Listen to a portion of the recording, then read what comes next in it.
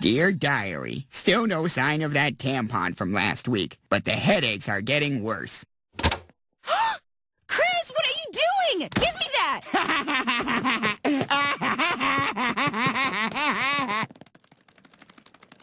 Well, I'm off to buy imaginary groceries.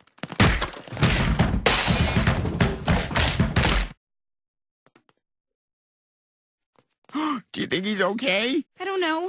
God, you idiot, this is your fault! My fault? You were the one chasing me! You were the one reading my diary! Kids, breakfast. What do we do? Is he breathing? It, it looks like it. That's a good sign, right?